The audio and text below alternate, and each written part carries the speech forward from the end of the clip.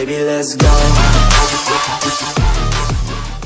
Fala galera, tudo bem com vocês? Meu nome é Kainan, eu represento a Team Comics. Estamos aqui para o primeiro vídeo de 2020 para falar desse filme incrível que eu assisti no dia 2 de janeiro, The Lighthouse, O Farol.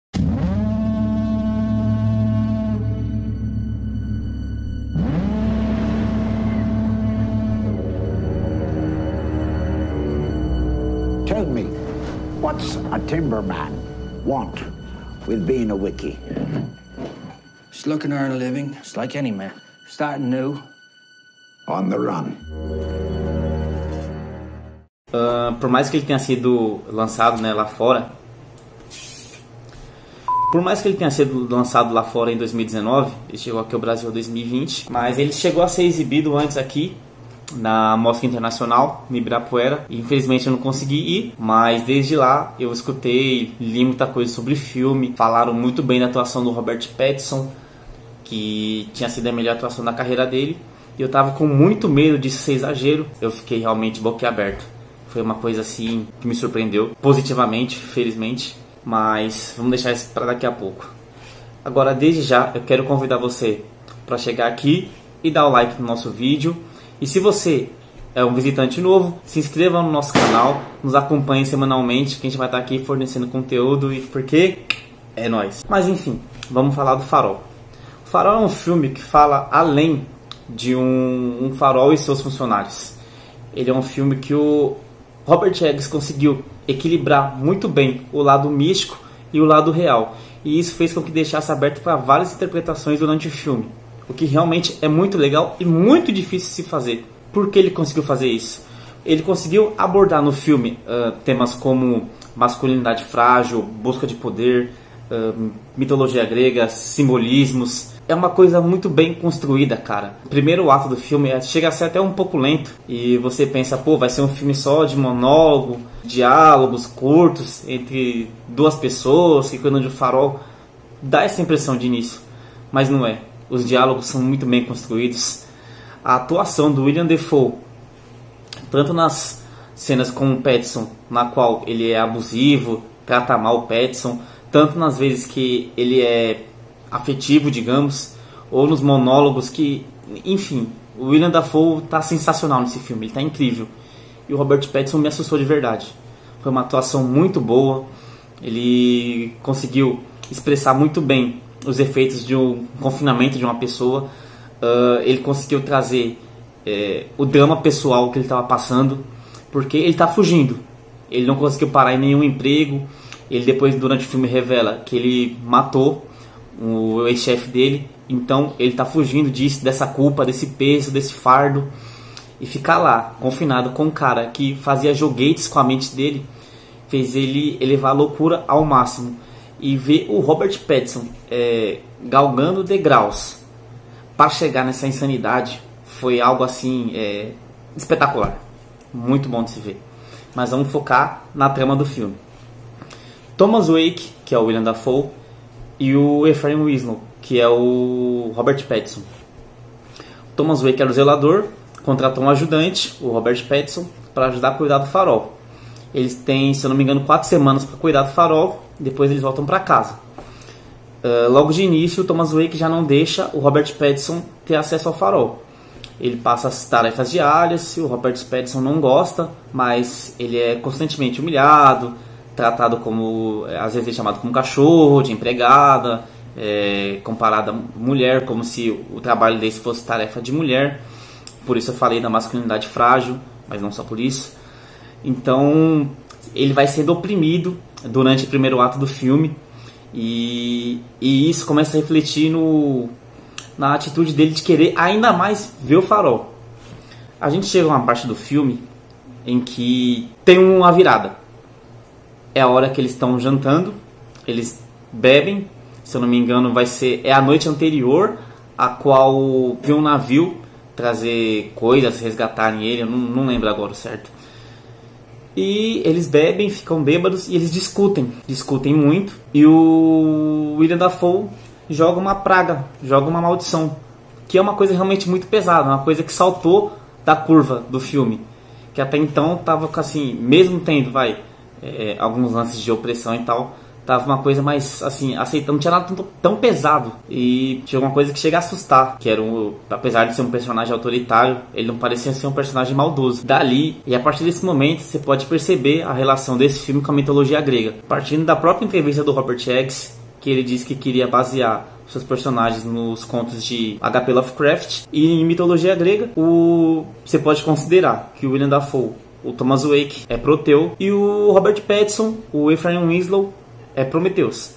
Então, nesse momento, Proteu, que na mitologia grega é o filho de Poseidon com o oceano, que é o velho do mar, o que faz todo sentido com o roteiro do filme, com esse personagem, que ele realmente é um velho do mar, ele joga essa maldição, a fúria do mar se recai, e se você reparar bem no enfrentamento entre os dois, o Thomas Wake começa a desenvolver tentáculos, então não, não é uma alucinação. Após a maldição que o Thomas Wake jogou no Ephraim Winslow, eles se enfrentam, e nesse enfrentamento, você percebe que enquanto o Petson tenta matar o Defoe, ele tem tentáculos e você pode julgar que isso é uma alucinação, Ephraim Winslow, mas na realidade é só uma amostra de que realmente o William Dafoe é o Proteu. Ah, mas Kainan, você falou que Proteu o velho do mar, o filho do Poseidon, blá blá blá blá, o Iscassachê, e não falou que é o Prometeu. Prometeu era um titã, segundo a mitologia grega.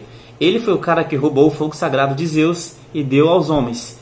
E isso fez com que ele ganhasse um castigo num penhasco, sendo morto por uma águia que comia o seu fígado todo santo dia. E ele não podia morrer em tese porque ele era imortal. Então esse castigo era diário, ele sofria isso todo santo dia. E você vai entender a relação dele. E na hora que eu falei isso, com certeza você entendeu o final, porque o final mostra isso. Mas vamos chegar lá. Se o William Dafoe é o Proteu e o Robert Pattinson prometeu, o farol significa o quê? Significa o fogo. O fogo, nesse caso, eu acho que não representa o inferno, igual muita gente está falando, eu acho que representa o conhecimento. Tanto que na hora que o Robert Pattinson consegue ter acesso ao farol, ele encosta, grita, se assusta e cai.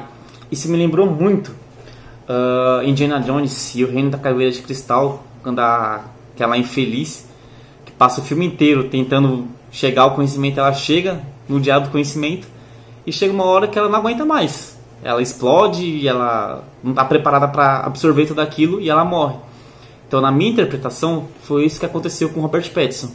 A partir do momento que ele chegou no farol, chegou no fogo, ele não conseguiu absorver todo o conhecimento, todo esse poder e caiu.